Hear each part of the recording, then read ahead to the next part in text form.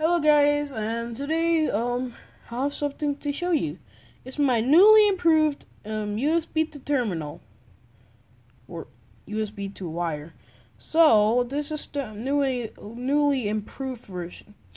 Unfortunately, I had to go cut out the the PVC tube, or as I call it, PVC, so we can have enough space so that metal thingy, well, I cut off that, and it's this, it's this little string, and uh, it was just being annoying. Well, it was annoying in there, so I figured out that I can remove it.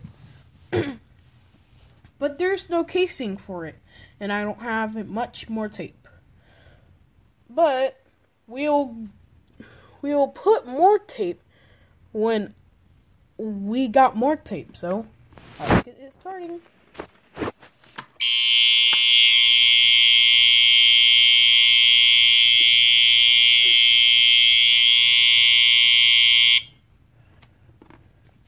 So that sounded um okay, okay.